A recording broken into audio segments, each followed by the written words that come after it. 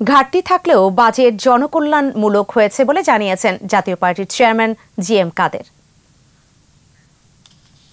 সরকার জনকল্যাণমূলক বাজেট করার প্রচেষ্টা করেছেন, কোনো সন্দেহ নেই। যেখানে যেখানে যে ধরনের খাতে আমরা মনে করি বরাদ্দ দেওয়া প্রয়োজন, সেই সমস্ত খাতে যথেষ্ট বরাদ্দ দেওয়ার ব্যবস্থা করা হয়েছে। এই বাজেট যদি সম্পূর্ণ আয় হয়ে আসে, তারপরেও এটা একটা ঘাটতি বাজেট।